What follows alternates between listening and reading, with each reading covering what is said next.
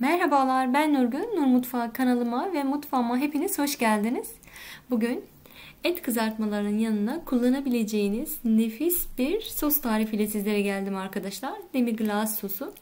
Genelde et menülerimin yanında bu şekilde e, soslar kullanıyorum arkadaşlar. Bazen hazır sos da kullanıyorum ama kendi yaptığım sosları da sizler için videolu olarak hazırlıyorum. Bu sosu da sizler için hazırladım. Umarım beğenirsiniz. Evet. Şimdi yapımına geçelim. Malzeme listemi açıklama kısmına da ekleyeceğim. Açıklama kısmından malzeme listemizi oluşabilirsiniz arkadaşlar. Yaklaşık 1,5 kilo kadar ilikli e, dana kemiği. Gördüğünüz gibi bu şekilde ben karışık kullandım.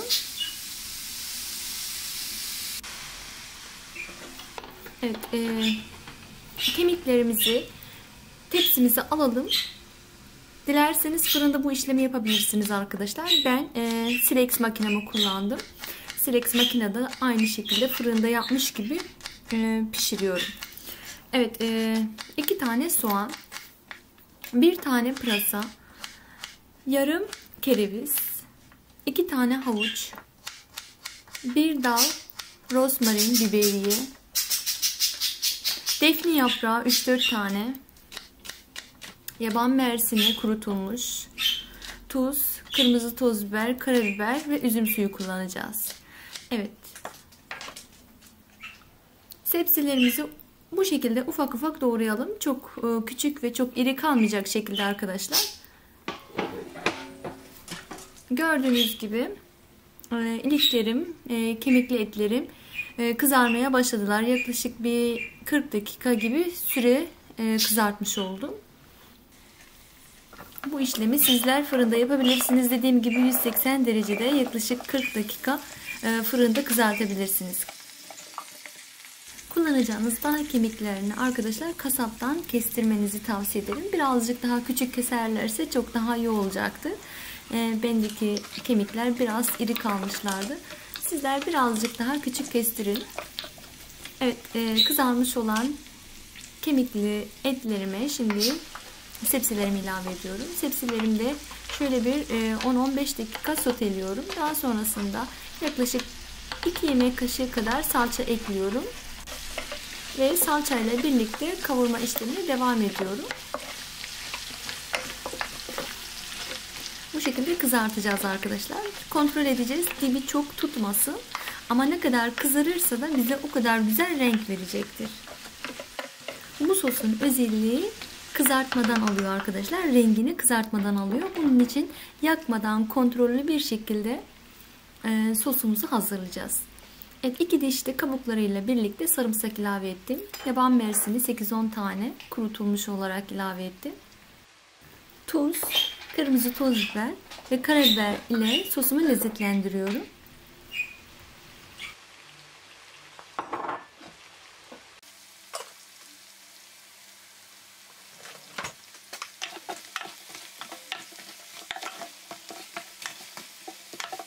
Bu şekilde biraz daha kızartıyorum. Sepsilerimi kemiklerle birlikte, baharatlarla birlikte güzelce özdeşleştiriyorum. Şimdi e, tane karabiber atmayı da unutmuştum arkadaşlar. Onu da atıyorum, ilave ediyorum. Bir 8-10 tane de tane karabiber. Dibini tutmaya başladı görüyorsunuz. Bu şekilde olduktan sonra şimdi bunu e, söndüreceğiz. Nasıl söndüreceğiz? E, üzüm suyu kullanarak arkadaşlar. Yaklaşık bir 2 su bardağına yakın bunu e, kontrollü bir şekilde hepsini birden ilave etmeyeceğiz. Önce e, azar azar ekleyeceğiz. Çektirecek, çektire çektire üzüm suyunu çektirdikten sonra tekrardan ilave edeceğiz. Bu şekilde bu işlemi 3 4 5 seferde uygulayacağız. Evet. Üzüm suyu ile Şimdi e, söndürüyoruz. Ve e, devam kızartacağız. Bu sosu, e, üzüm suyunu sosumuz çekecektir. Evet. Çektikten sonra e, devam takviye yapıyoruz. Bu işlemi dediğim gibi 3-4 sefer uyguladım. Toplamda 2 su bardak yaklaşık 2 su bardağı yakın üzüm suyu kullandım. Evet gördüğünüz gibi sosum e, çok güzel kendine gelmeye başladı. Şimdi yaklaşık bir 2 litre kadar sıcak su ilavesi yapıyorum.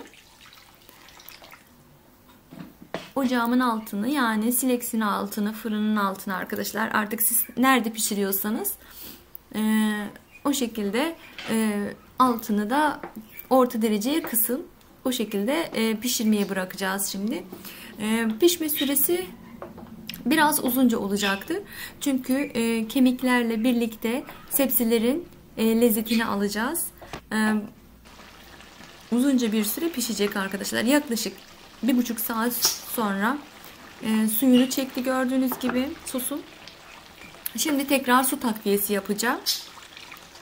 Yaklaşık bir 2 litre kadar daha su takviyesi yaptım.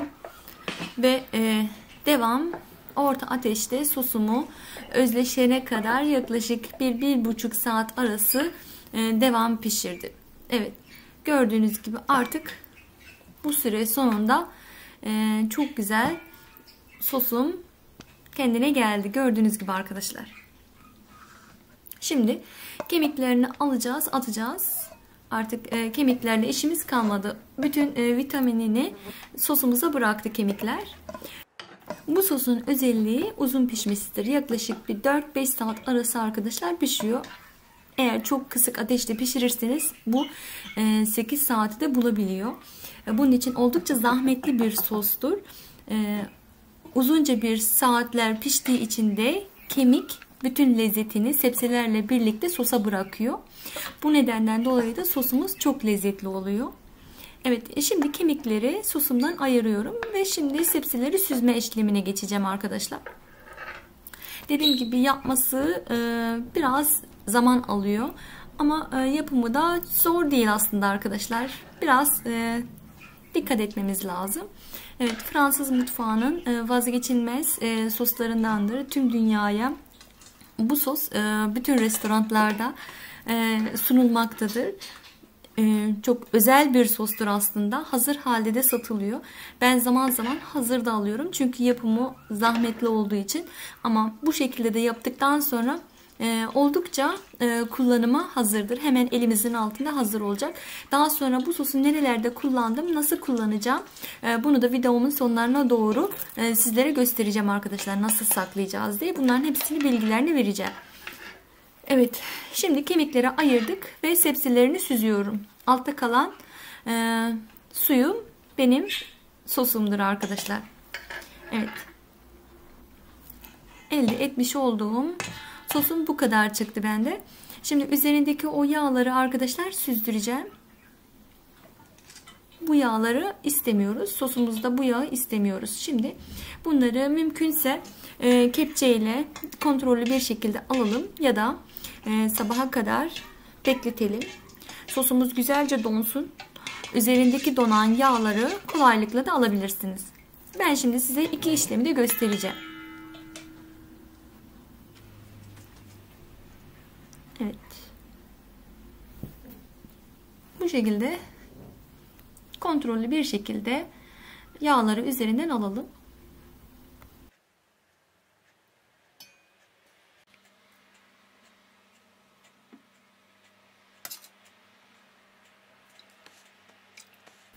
Bazen kameranın azizliğine uğrayabiliyorum. Gördüğünüz gibi zoomlayınca çok net bir görüntü alamıyorum almaya çalışıyorum. Bu görüntüleri de sizlere orijinal haliyle bıraktım arkadaşlar. Kesmedim.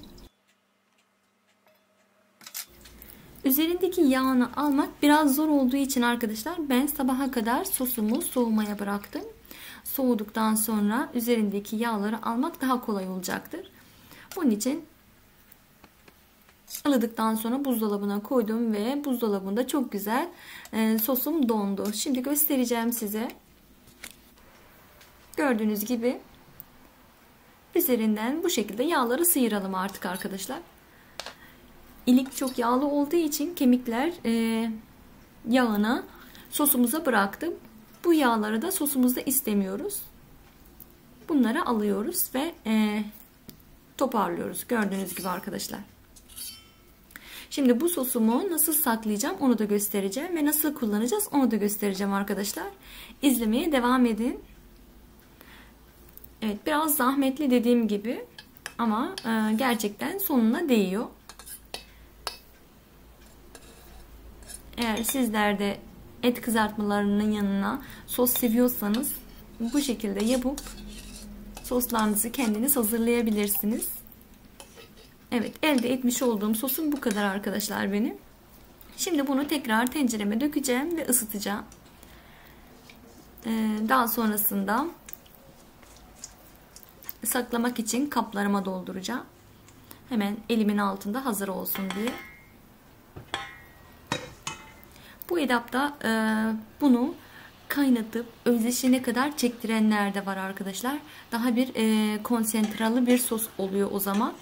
E, kaynatınca biraz nişastayla kaynatınca o konsantralı sosu e, dondurup aynı şekilde tekrar kullanılıyor. Ama ben e, hiçbir e, bir şey katmak istemiyorum ilk etapta. Bu şekilde sosumu saklamak istiyorum. Daha sonra kullanacağımda nişastasını, ununu kullanacağım. Evet, e, dilerseniz konserve kavanozlarına e, porsiyonluk olarak ayırabilirsiniz arkadaşlar. Ben burada cam kavanozun içerisine bir miktar döktüm. Daha sonra bu soğuyunca onun e, dörde böleceğim. O şekilde e, sosumu porsiyonlamış olacağım. Şimdi ikinci bir işlemde bu şekilde buzluk poşetleri var. Ya da buzluk e, buz e, kaplarına arkadaşlar poşet yoksa buz kaplarında da bu sosları bu şekilde hazırlayabilirsiniz. Gördüğünüz gibi buz saklama kabında porsiyonluk olarak sosumu hemen elimin altında hazır hale getirdim arkadaşlar. Gördüğünüz gibi. Bunu derin dondurucuda saklayacağım. Kullanacağım da 2-3 parçasını keseceğim. Daha sonra sos yapımında kullanacağım. Evet zahmetli ama gerçekten e, lezzetli bir sos. Sizler de soslara özen gösteriyorsanız, lezzete e, önem veriyorsanız deneyin derim. Evet, şimdi bu sosumuzu nasıl kullanacağız? Birinci işlem arkadaşlar. Birinci alternatifi Sosumuzu e, tavaya alalım. Burada hiçbir işlem yapmayacağım. Sadece sosumu kullanacağım. Sosumu ısıttıktan sonra donmuş tereyağı ile gördüğünüz gibi e, soslarımda kullanmak için derin dondurucuya tereyağı atıyorum arkadaşlar. Bir kaşık donmuş tereyağını içerisine atıyorum ve karıştırıyorum. Kıvam alacak şimdi özleşecek tereyağı ile sosum çok güzel özleşecek. O e, sıvı akıcı olan kıvamı gidecek. Şimdi katılaşacak. Hiç içerisine un, nişasta hiçbir şey kullanmadan gördüğünüz gibi arkadaşlar sosum çok güzel kıvam aldı, katılaştı. Şimdi bu sosumu et kızartmalarının yanında kullanabiliriz arkadaşlar. Burada biraz kamera yine gelgitler yapıyor. Benimle birazcık uğraşıyor ama sonunda güzel görüntü veriyor bana.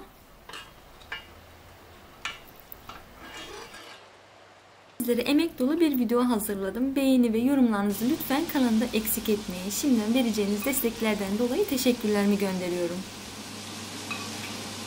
Evet sosumuzun rengi de harika oldu. Hem lezzeti hem e, rengi her şeyle birlikte gerçekten çok lezzetli bir sos oldu arkadaşlar. Tabi bu sosumu neyle servis yapacağım? Mutlaka kızartılmış bir et ile yapacağım. Ee, dana antrikot kızarttım tavada. Gördüğünüz gibi bu şekilde sunum yaptım arkadaşlar. Blanch edilmiş sebzeler, e, yanına humus ve sos eşliğinde. Rengini görüyorsunuz arkadaşlar. Müthiş oldu. Çok güzel bir kahverengi renk oldu. Evet biz çok beğendik. Umarım beğenmişsinizdir. Şimdi e, farklı bir sosdan devam göstereceğim sizlere. Bu birinci alternatifti. Bu şekilde e, bonfile, antrikot, tibon e, birçok tarifte kırmızı ette bu sosu kullanabilirsiniz. Ayrıca tavukta da kullanabilirsiniz arkadaşlar. Şimdi e, tavukta da nasıl kullandım, nasıl lezzetlendirdim e, göstereceğim. Mantar soslu yapabilirsiniz. İçerisine mantar katarak, krema kullanarak kremalı sos yapabilirsiniz, elde edebilirsiniz. Birçok değişik alternatif bu sosu kullanabilirsiniz. Müthiş lezzet verecektir hepsine. Evet.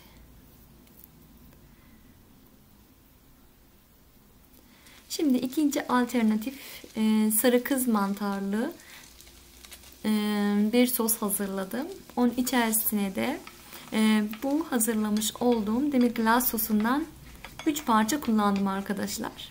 İçerisine krema da kullandım. Müthiş lezzetli bir sos elde ettim. Yani anlatamam arkadaşlar. O kadar lezzetli bir sos oldu ki harikaydı. Sizlere de denemenizi tavsiye ederim. Evet. Sade mantarlı yapabilirsiniz. Sade kremalı yapabilirsiniz. Sade tereyağlı yapabilirsiniz. İçerisine biraz nişasta ya da un katarak e, sosu çoğaltabilirsiniz. Birçok değişik alternatifte bu sosu kullanabilirsiniz arkadaşlar. Evet umarım beğenmişsinizdir. Uzunca bir video oldu ama gerçekten e, olması gerektiği gibi sizlere detaylı bir şekilde anlatmaya çalıştım. Çünkü e, bu tarif kolay bir tarif değildir. Yapması uzunca bir e, zaman alıyor ve e, işlemleri olduğu için e, sizlere de detaylı bir şekilde e, yapımını, kullanımını, her şeyini anlatmaya çalıştım. Umarım beğenmişsinizdir. Kanalımda bu şekilde farklı tariflerim mevcuttur. Sos tariflerim mevcuttur. Kızartma e, menülerim mevcuttur arkadaşlar. Mutlaka kanalıma göz atın derim. Sizlerin de damak zevkinize uyacak tariflerim vardır. Ayrıca kanalıma abone olmayı, zil sesini açmayı lütfen unutmayın. Paylaştığım videolarım sizlere bildirim olarak gelsin. Videolarımı kaçırmayın derim. Evet bugünlük bu kadardı. Bir yayınımızın daha sonuna geldik. Farklı tariflerde tekrardan görüşmek dileğiyle kendinize çok iyi bakın. Sevgiyle kalın, hoşça kalın.